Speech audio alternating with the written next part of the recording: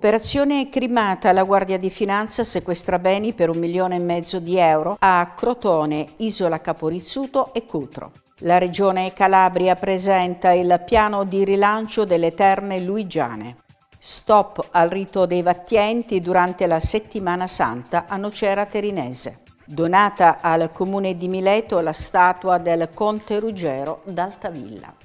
Salve e ben ritrovati con l'informazione di Calabria TV. Operazione crimata alla Guardia di Finanza di Crotone sequestra beni immobili e immobili per un valore di circa un milione e mezzo di euro nei confronti di sette soggetti indagati per frode fiscale e riciclaggio.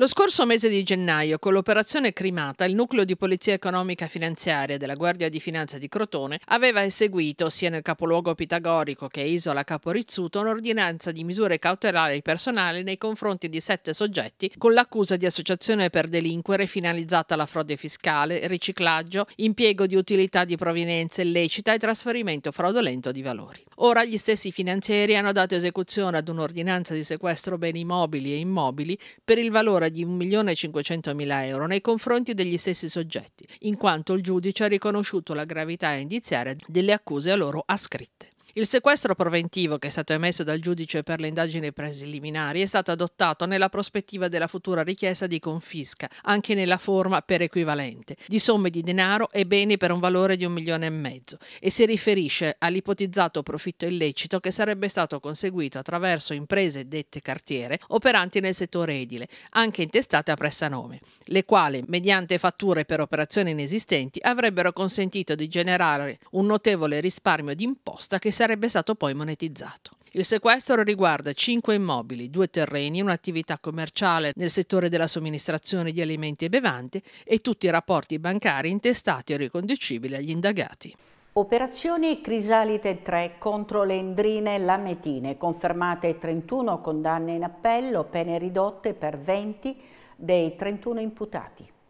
Crisalide 3 arriva la sentenza di secondo grado. La Corte d'Appello si è infatti pronunciata in merito al processo scaturito dall'operazione condotta nel 2020 dalla DDA di Catanzaro e dai militari dell'arma contro la cosca Cerra, Torcasio, Gualtieri, i giudici della seconda sezione penale, Presidente Antonio Giglio, consigliere all'Atere Maria Rosaria di Gerolamo e Barbara Saccà, hanno rideterminato le pene inflitte nella sentenza di primo grado e altre confermate. In particolare la Corte ha confermato 13 condanne emesse in primo grado, mentre altre sono state rideterminate e altre ancora modificate sulla base del concordato richiesto dalle parti. Inoltre, alcuni imputati, Salvatore Fiorino e Saverio Torcasio, sono stati assolti da alcuni capi di imputazione, mentre i giudici hanno dichiarato il non luogo a procedere per Rosario Franceschi in relazione a due capi di imputazione. Nello specifico, le pene rideterminate o modificate sulla base della richiesta di concordato riguardano Salvatore Fiorino, che è stato condannato a 8 anni e 2 mesi di reclusione, Saverio Torcasio a 8 anni e 6 mesi di reclusione, Rosario Franceschi a 7 anni e 11 mesi e 20 giorni di reclusione e 24.525 euro di multa, Giuseppe Costanzo a 2 anni e 8 mesi di reclusione e 11.555 euro di multa, Nicolas Izzo Izzo a 7 anni di reclusione, Antonio Franceschi 5 anni 10 mesi e 26 mila euro di multa, Francesco Gigliotti a 7 anni e 10 mesi, Antonio Lapolla a 1 anno e 4 mesi, Antonio Miceli 11 anni e 66 mila euro di multa, Carlo Sacco e Filippo Sacco a 1 anno e 6 mesi e 4 mila euro di multa ciascuno, Luigi Vicenzini a 7 anni e 8 mesi, Antonio Saladino a 13 anni e 11 mesi, Davide Belville a 10 anni, Pasquale Caligiura a 10 anni e 6 mesi mese e 10 giorni, Domenico De Rito. A 9 anni e 3 mesi, Morrison Alessio Gagliardi. A 11 anni e 7 mesi e 10 giorni, Massimo Gualtieri. A 8 anni e 7 mesi e 10 giorni, Antonio Paola. A 8 anni, 10 mesi e 10 giorni e Teresa Torcasio. A 10 anni, 2 mesi e 20 giorni. La Corte d'Appello ha anche deciso di non doversi procedere per Nicola Gualtieri in ordine ai reati, ascrittigli perché estinti per morte del reo. Nel corso dell'esecuzione degli arresti connessi all'operazione Olimpo, all'esito delle indagini dirette dalla Procura della Repubblica della DDA di Catanzaro che ha portato la Polizia di Stato all'applicazione di 41 custodie cautelari in carcere e 15 misure degli arresti domiciliari, oltre al sequestro di beni per un valore complessivo di circa 250 milioni di euro, erano stati rinvenuti 92.300 euro in contanti all'interno dell'abitazione di uno degli indagati per diversi delitti, quale estorsione e illecita concorrenza commessa mediante violenza e minaccia, aggravati dal metodo mafioso. Il Tribunale di Catanzaro, sempre su richiesta della DDA del capoluogo di regione guidata da Nicola Gratteri, ha ordinato l'applicazione del sequestro preventivo dell'ingente somma di denaro. Conferenza stampa alla cittadella regionale per il piano di rilancio delle terme luigiane. La società partecipata Terme Sibarite acquisirà l'intero compendio termale, protocollo d'intesa tra Terme Sibarite i comuni di Acquapesa e Guardia Piemontese per la realizzazione di interventi di ammodernamento. Eh, ritengo proprio di sì, perché l'anno scorso, eh, durante la stagione estiva, che purtroppo è cominciata in ritardo alle Terme Luigiane, perché è cominciata a fine luglio, il 28 di luglio, eh, si è prodotto comunque un risultato di gestione positivo. Quest'anno comincerà la stagione a fine maggio, come deve essere ogni anno e quindi ci aspettiamo un risultato di gestione ancora migliore. La dimostrazione del fatto che eh, anche le gestioni pubbliche possono essere efficienti e possono servire a trasformare ehm, degli episodi che sarebbero diventati di archeologia industriale in eh, imprese produttive al servizio dello sviluppo turistico della regione. Eh, sicuramente sì perché sono orgoglioso del risultato che ho prodotto. Il primo eh, disegno di legge che ha presentato Calderoli prevedeva la possibilità di fare le intese per l'autonomia differenziata anche prima di definire i diritti sociali e civili secondo i fabbisogni standard. Quindi prevedeva che si consolidasse l'ingiusto criterio della spesa storica nei trasferimenti alle regioni e ai comuni. È un criterio per, per il quale il Sud ha sempre perso tanti miliardi a vantaggio del Nord ho chiesto di eh, modificare il testo, le mie richieste sono state accolte, oggi non si potranno fare intese per l'autonomia differenziata se prima non vengono definiti i diritti sociali e civili secondo i fabbisogni standard. Quindi, traducendolo, non si potranno fare intese per l'autonomia differenziata se prima 70, 80, 90 miliardi, come dice lo Svimez, non verranno trasferiti al Sud. Mi pare che sia un risultato estremamente apprezzabile anche per quelli eh, che dovrebbe essere apprezzato anche da quelli che per tanti anni si sono lamentati del fatto che i trasferimenti avvenissero secondo il criterio della spesa storica e oggi che grazie ad un mio emendamento che ha trasformato eh, il testo di legge, eh, questi trasferimenti si prevede che avvengano secondo i fabbisogni, dovrebbero festeggiare. Termesi Barita ha esercitato il diritto di opzione per procedere all'acquisto del ramo d'azienda un tempo fin qui detenuto legittimamente da, da Sateca.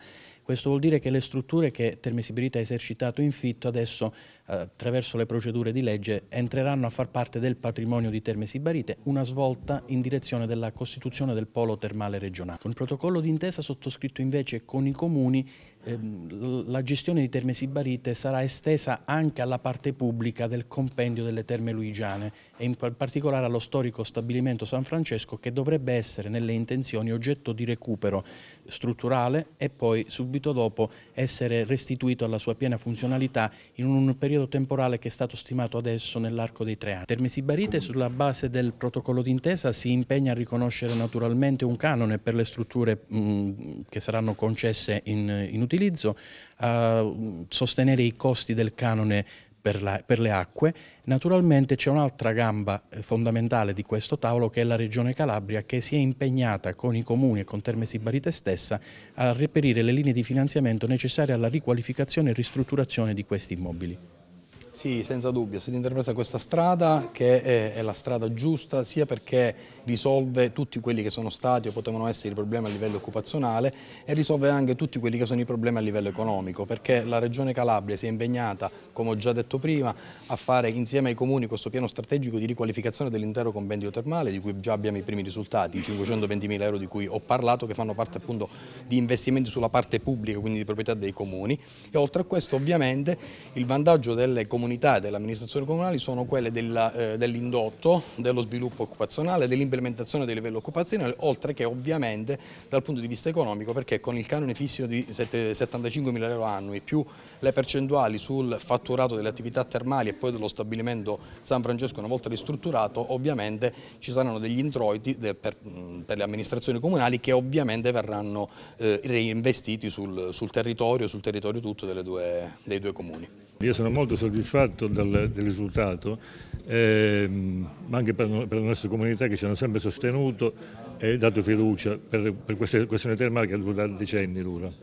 Quasi un chilo e mezzo di droga è stato sequestrato dalla polizia ad un 44enne di Cosenza con precedenti arrestato per detenzione e spaccio di stupefacenti. Durante una perquisizione a casa dell'uomo, gli agenti hanno infatti trovato poco meno di 84 grammi di cocaina, 29 grammi di hashish, quasi 1 kg 300 grammi di marijuana. Nell'abitazione dell'uomo inoltre c'era del materiale utile per il confezionamento e la pesatura e del denaro in contante, 550 euro in banconote di piccolo taglio, che si ritiene siano provento di attività di spaccio. Il quarantenne è stato quindi arrestato e trasferito nella casa circondariale di Cosenza. Presso Union Camera a Lamezia Terme si è tenuto un convegno promosso da Desk Enterprise Europe Network di Union Camere, Camere di Commercio Calabresi e ICE Agenzia, dove hanno sottoscritto un'intesa operativa per sostenere in maniera sinergica i processi di internazionalizzazione del tessuto imprenditoriale calabrese. Il progetto Expo Flandesk nasce per riportare eh, l'ICE Agenzia sui territori perché dopo il 2011 quando l'ICE ha perso la rete degli uffici regionali eh, si è un po' perso il contatto con le realtà territoriali. Quindi l'obiettivo dell'Export Flying Desk dal 2019 è quello di avvicinare nuovamente l'ICE Agenzia alle aziende sui propri territori per poterle conoscere direttamente e poter intercettare le esigenze delle singole aziende perché chiaramente le, le piccole e medie imprese, soprattutto le micro e piccole e medie imprese che hanno più difficoltà ad approcciarsi ai mercati esteri e quindi hanno più necessità dei servizi di supporto del sistema Italia. Quindi la collaborazione di ICE Agenzia con i partner del territorio, con le camere di commercio in questo caso, ma anche con Confindustria piuttosto che con le regioni, consentono di mettere in campo un apporto sinergico di tutti gli stakeholder del sistema Italia per ottimizzare eh, l'intervento che lo, Stato fa a favore delle piccole e medie imprese per favorirne la crescita a livello internazionale, quindi per favorire l'export e per, eh, per, favorire chiaramente tutto il sistema Italia. Sì, questo è un accordo oggi che presentiamo, voluto da Union Camera, al sistema camerale calabrese insieme a ICE, ovviamente per dare opportunità al sistema imprenditoriale calabrese, per cercare di internazionalizzare sempre di più eh, le nostre aziende. Diciamo che l'export in Calabria eh, cresce negli ultimi anni e cresce anche a doppia cifra, cresciamo del 29%, quindi eh, questo fa ben sperare perché i nostri, insomma, i nostri imprenditori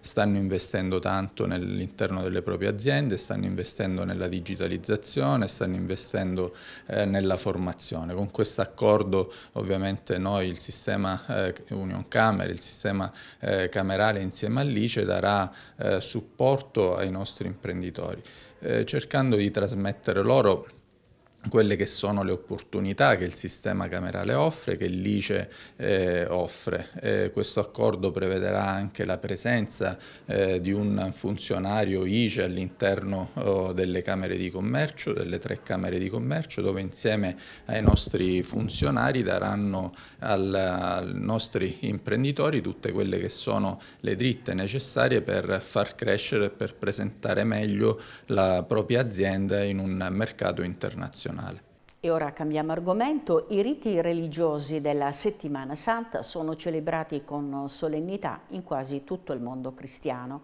Vediamo come si preparano a Crotone.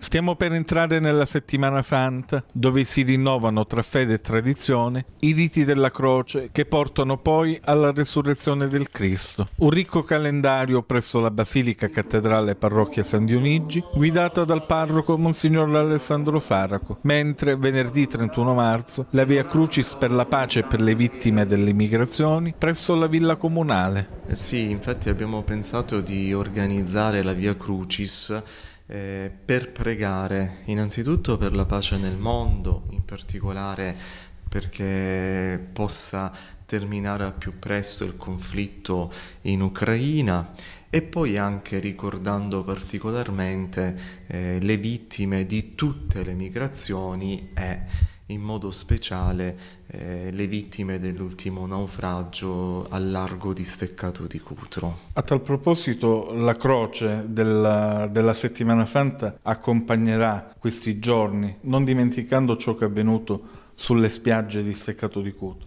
Sì, il giorno della Via Crucis, eh, venerdì 31 marzo, all'ingresso della villa comunale noi accoglieremo eh, la cosiddetta ormai croce dei migranti, quella croce che è stata realizzata con eh, i resti eh, del balcone che è naufragato. E con questa croce eh, noi pregheremo la Via Crucis e poi la croce rimarrà fino a domenica 2 aprile in cattedrale eh, perché la esporremo anche durante la celebrazione eucaristica delle 10 presieduta dal nostro arcivescovo.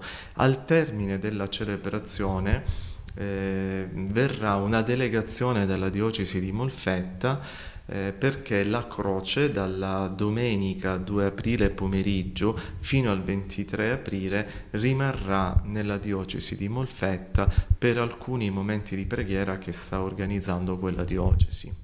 Nella settimana santa poi inoltre fulcro delle cerimonie sarà anche la lavanda dei piedi con i tradizionali sepolcri nel centro storico di Crotone che richiamano sempre tanta gente e tanta devozione così antica ma sempre nuova.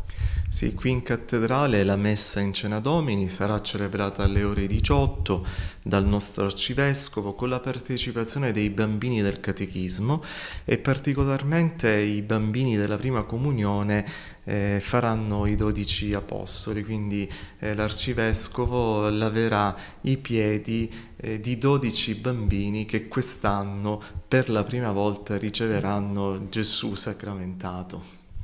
E poi il venerdì l'adorazione della croce, fino ad arrivare alla Pasqua.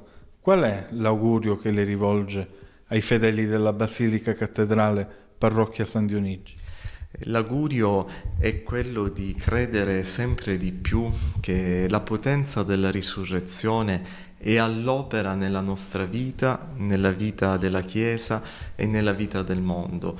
Eh, Gesù risorto è il fondamento della nostra gioia e della nostra speranza, quindi anche se stiamo attraversando eh, dei momenti difficili a livello personale, a livello sociale, però mai perdere la speranza che Gesù risorto è con noi, non ci abbandona e ci darà la forza per affrontare tutto e soprattutto anche per accogliere la fatica del credere e del vivere. A Caulonia, nel Regino, invece i manifesti con il programma della Settimana Santa sono stati strappati da ignoti.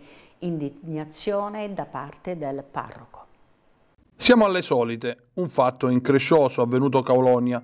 Persone non identificate hanno strappato alcuni manifesti murari che erano stati affissi da poco, con cui si rendevano noti gli appuntamenti della settimana santa. L'episodio ovviamente è stato denunciato sui canali social del parroco di Caulonia, Don Antonio Magnoli. Dice il prete, il vostro posto, ha scritto Don Antonio, è al circo tra i pagliacci e lo sterco degli animali. Siete gentaglia che non vuole il bene del proprio paese, ma la distruzione. Dunque lo strappo del manifesto della settimana santa è un chiaro segno di inciviltà che va condannato condannato ad ogni livello. Il parroco ha tenuto a ringraziare il vescovo di Locri Gerace, Monsignor Francesco Oliva, per la vicinanza e la condivisione della condanna. Un grazie, dice Don Magnoli, anche a tutta la comunità cauloniese che si è espressa in modo fermo contro l'episodio. Ma per Caulonia questi gesti non sono una novità. Anche in passato c'erano stati tanti diverbi legati ovviamente ai santi, al santo patrono e nel periodo pasquale addirittura legato alle varie fazioni delle arciconfraternite che partecipavano al tradizionale caracolo che lo ricordiamo si terrà il sabato prima di Pasqua e salterà anche quest'anno il rito dei Vattienti a Nocera Terinese nel Catanzarese. La tradizionale celebrazione che ha luogo proprio nel periodo pasquale è stata vietata dalla commissione straordinaria che guida il comune perché giudicata in assoluto contrasto con le primarie esigenze di tutela della salute pubblica e salubrità dell'ambiente. Si tratta di un provvedimento che sta suscitando non poco dibattito nel Comune e fra tutti gli appassionati dai riti pasquali, anche in considerazione del fatto che la manifestazione manca a Nocera ormai da anni a causa anche dell'emergenza pandemica. Una statua raffigurante il conte Ruggero, realizzata dall'artista vibonese Antonio Lagamba, è stata donata alla cittadina di Mileto da Domenico Sorace, con parte dei ricavi di un libro da lui pubblicato si arricchisce il parco archeologico di Mileto Antica e lo fa con un monumento dedicato a Ruggero I d'Altavilla, opera dell'artista Antonio Lagamba. Un momento di recupero della memoria normanna nella città Mileto, che proprio Ruggero elesse a capitale. La sua realizzazione è stata possibile grazie alla donazione dello scrittore Domenico Sorace e rappresenta la prima opera artistica posta dall'uomo all'interno del parco archeologico medievale, su autorizzazione della sovrintendenza, creandosi così, attraverso l'arte, un legame con concreto e diretto tra passato e presente. Come nasce eh, quest'opera? Quest'opera, come dicevo prima, nasce dall'amicizia. Domenico presentava questo libro qui, mi ha chiesto perché non vieni, che eh, se ti viene in mente qualcosa... Eh, eh, mi chiami alla fine della presentazione e lo facciamo vedere, ti giuro. Eh, lui ha raccontato la storia dei Normanni, di San Bruno, eccetera. Io a un certo punto inizio a disegnare a fine presentazione faccio vedere questo lavoro che la gente pensava forse che ne avessimo parlato prima, invece non era vero, e gli ho detto immaginate proprio in questo spazio come se queste figure nascessero dal terreno e prendessero forma, no? perché se tu vieni a visitarlo e non hai una guida, fai fatica a immaginare cosa può rappresentare questo luogo. Invece se c'è un qualcosa che te lo racconta, io l'ho visto anche quasi in maniera eh, didascalica e didattica, in modo tale che quando vengono le scuole, oltre a vedere quel poco che è rimasto, possano immaginare, possano sognare quello che effettivamente è stato un luogo importantissimo dal punto di vista storico, ma magico dal punto di vista proprio dell'emozione. Alla fine dell'evento eh, Antonio Lagamba ha fatto vedere il bozzetto e io ho promesso al pubblico, al sindaco che era presente, a tutte le autorità, che tutto il ricavato del libro sarebbe stato destinato per la realizzazione di un'opera d'arte. Abbiamo promesso, abbiamo, subito ci siamo attivati mm, e attraverso anche una sinergia con la soprintendenza dei beni eh, archeologici eh, che ha dato poi l'autorizzazione per l'impianto, ecco, siamo arrivati all'impianto del, dell'opera e a questo eh, punto che secondo me è simbolicamente interessante. Questa, eh, questo parco è stato oggetto di depredazione negli anni, nei secoli, eh, ci sono pochissime testimonianze rispetto alle grandiosità che erano presenti, eh, oggi visibili perché sono state sottratte. Questa la, per la prima volta si dà corpo ad una restituzione a questo territorio di un'opera eh, alla quale penso, spero che la comunità di Mileto, la comunità regionale in generale, saprà far seguire altre opere in modo che ciò che è stato sottratto possa essere restituito eh, nel tempo. È una bellissima notizia, è un evento che bello veramente, noi abbiamo colto come questo segno di generosità che veniva dall'avvocato Sorace e anche dall'artista Antonio Lagamba che ha voluto fare, creare quest'opera eh, che è un'opera importante per il lato artistico ma anche per il fatto che su questo sito è la prima opera d'arte moderna, diciamo così, fatta comunque nella contemporaneità, che viene apposta eh, da uomini su questo sito del Parco Archeologico Medievale di Mileta Antica. E continuano gli appuntamenti con le donne speciali della Calabria. A Vivo Valencia sono state ricordate la psicologa Titti D'Amico, la serva di Dio Irma Scrugli e l'eroina medievale Diana Recco. Continuano gli appuntamenti del Festival Calabria delle Donne in provincia di Vibo Valencia. Dopo aver ricordato il notaio Mariolina Palermo, è toccato ad altre tre donne ad essere celebrate e fatte conoscere ad un pubblico più ampio. Donne che si possono definire speciali per il loro modo di essere e per il loro agire. La psicologa Titti D'Amico, la serva di Dio Irma Sgrugli, grazie alla collaborazione con il Rotary Club di Vibo Valencia, e Diana Arecco, l'eroina medievale che vendicò i sette martiri monteleonesi in sinergia col liceo classico Michele Morelli. Titti D'Amico, psicologa clinica e psicoterapeuta, ha sempre associato l'attività clinica e l'insegnamento sia nella formazione professionale sanitaria della regione sia presso diverse università. È sempre stata sensibile alle tematiche sociali e all'affermazione dei diritti civili con particolare attenzione alle tematiche della famiglia mentre Irma Scrugli fu la cofondatrice con Don Mottola della famiglia degli Oblati e delle Oblates del Sacro Cuore, un istituto secolare eretto poi a livello diocesano. Proveniente da una famiglia aristocratica tropeana, lasciò le comodità del suo rango e abbracciò la povertà, aiutando soprattutto le persone con disabilità, gli anziani, i carcerati e tutti i poveri che andavano a bussare alla sua porta abbiamo deciso di ricordare quelle che noi vogliamo definire due grandi donne vibonesi e lo abbiamo fatto in un eh, clima di eh, festa gioiosa nel ricordo perché riteniamo che questi momenti eh, di condivisione e di ricordo siano utili per tutta la comunità anche per far comprendere e far capire coloro le quali si sono spese per un territorio difficile quale il nostro che però apportando un grande contributo. Titti D'Amico e Irma Scrugli riteniamo siano state due grandi figure ed era giusto valorizzarle in maniera degna così come è stato fatto questa sera. Per quanto invece riguarda Diana Recco, la si è voluta presentare sotto una nuova luce, non più protagonista di una sia pur forte azione vendicativa in nome dei sette martiri monteleonesi, tra i quali suo padre e suo fratello, quanto piuttosto come un'eroina di libertà che ha agito in nome della libertà, bene supremo per il quale i monteleonesi nei secoli si sono sempre battuti, fino all'estremo sacrificio. Una diversa chiave di lettura che è stata proposta dallo studioso giornalista Maurizio Bonanno alla luce di una nuova interpretazione di quel periodo storico a Monteleone. Un altro dei super appuntamenti della Calabria delle Donne si è svolto proprio qui al Liceo Classico Michele Morelli dove grazie a una straordinaria relazione del giornalista Maurizio Bonanno e alla presenza anche del professore Tonino Fortuna abbiamo raccontato ai ragazzi quella che è stata un'eroina della libertà.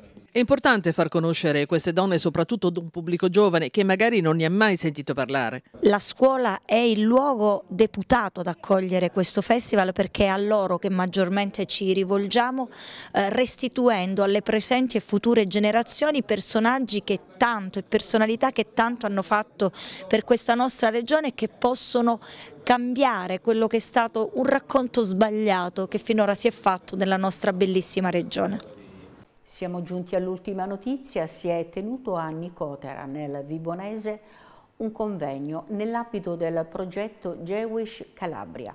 Calabria, culla dell'accoglienza e del dialogo interculturale, dove si è parlato di ebraismo. È un'occasione questa importante per eh, l'autorevolezza della dei relatori che segnano questa iniziativa e che eh, si inserisce in un contesto storico particolare eh, di grande attualità questo tema, sia per i fatti che recentemente si sono registrati a Cutro, sia per i fatti che si registrano su scala internazionale. Penso a quello che sta accadendo, che è accaduto nei giorni scorsi in Israele, che non dimentichiamolo è la culla della integrazione fra le diverse civiltà. Siamo qui per dimostrare quanto la Calabria e i calabresi stessi siano portati all'accoglienza, all'ospitalità. Eh, la Calabria ospita nella sua regione tantissime piccole eh, minoranze etniche e culturali e la sua storia è fatta di piccoli tasselli. Questo dimostra quanto la Calabria sia diversificata nella sua storia e quindi sia ricca e questo ci fa pensare quanto oggi vi sia una tendenza inversa a, a, omologare un po' tutto, anche le culture e questo impaurisce il tutto fino a quando la Calabria è stata diversificata eh, culturalmente, etnicamente, è sempre stata ricca, è sempre stato un volano per l'intera Europa. Reggio Calabria. La cosa bella di oggi è, è la presenza massiccia di ragazzi, ma anche di sindaci e amministratori delle comunità. Lo trovo bellissimo perché vuol dire che la Calabria si vuole riscattare anche attraverso questo percorso ebraico e dimostra anche l'apertura di questa gente. Cioè... questo convegno è importantissimo perché in un momento storico come questo la multiculturalità e la, eh, dire, le differenze, le differenti identità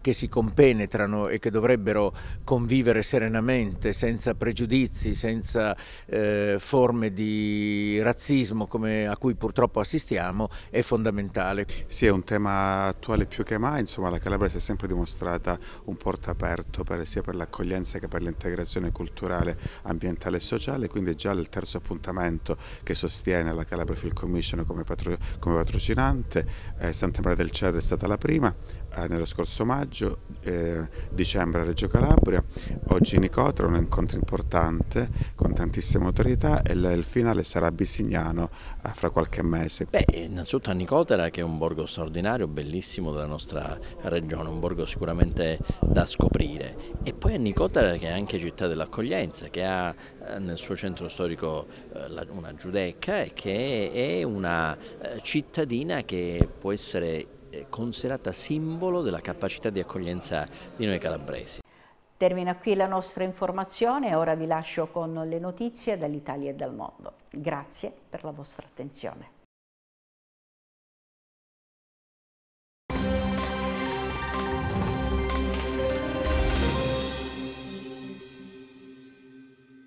Il giornalista americano del Wall Street Journal Evan Gershkovich è stato arrestato in Russia a Ekaterinburg.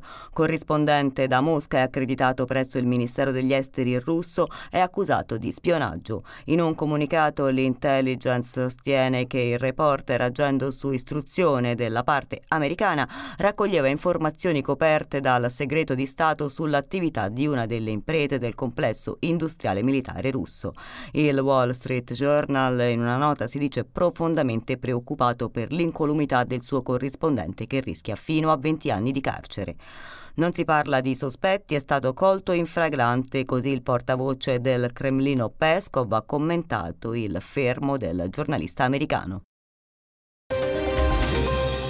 Migliora il quadro clinico di Papa Francesco ricoverato da ieri al Policlinico Gemelli di Roma per un'infezione respiratoria. Il direttore della sala stampa vaticana, Matteo Bruni, ha detto che il Papa ha riposato bene nella notte e che prima di pranzo si è recato nella cappellina dell'appartamento privato dove si è raccolto in preghiera e ha ricevuto l'Eucaristia. Fonti ospedaliere precisano che lo staff medico è ottimista, ma il Vaticano non conferma ancora nulla sugli appuntamenti della della settimana santa. La messa del 2 aprile, domenica delle Palme, dovrebbe essere celebrata dal vice decano del collegio cardinalizio Leonardo Sandri. Tanti messaggi arrivati al Santo Padre, il Presidente della Repubblica Mattarella oggi all'inaugurazione di un nuovo centro della Lega del Filo d'Oro ha inviato gli auguri più affettuosi di una prontissima guarigione a Papa Francesco. Nel suo secondo giorno di visita in Germania, Re Carlo III ha parlato al Bundestag. Un grande onore lo ha definito il Re d'Inghilterra. Nel suo discorso, il primo di un monarca al Parlamento tedesco, il sovrano britannico che ha alternato l'inglese e il tedesco ha sottolineato i forti legami culturali ed economici che ci sono tra i due paesi e ironicamente ha citato anche qualche rivalità come quella delle squadre di calcio. Poi parlando della guerra in Ucraina, ha detto anche di fronte alle grandi sfide siamo fianco a fianco e abbiamo assunto insieme una leadership. Re Carlo questa mattina aveva incontrato sempre a Berlino il cancelliere tedesco Scholz. In vista del suo viaggio a Pechino in programma la prossima settimana, la Presidente della Commissione europea Ursula von der Leyen lancia un appello alla Cina nelle negoziazioni con la Russia sulla guerra in Ucraina. Il paese asiatico ha la responsabilità di svolgere un ruolo costruttivo nel promuovere una pace giusta, ha detto la von der Leyen, ma questa pace può essere giusta solo se si basa sulla difesa della sovranità e dell'integrità territoriale dell'Ucraina. Silvio Berlusconi ha lasciato l'ospedale San Raffaele di Milano dove era ricoverato da lunedì per effettuare delle visite di controllo che si sono protratte per alcuni giorni. A causa degli strascichi che gli ha lasciato il Covid e per monitorare i sintomi cardiaci di cui soffre da tempo, il leader di Forza Italia si sottopone in maniera programmata ad una serie di check-up. Dopo mesi negli Stati Uniti, Bolsonaro è tornato in Brasile. L'ex presidente si era recato negli Stati Uniti due giorni prima dell'insediamento del presidente Lula da Silva, saltando così il tradizionale rito del passaggio di poteri.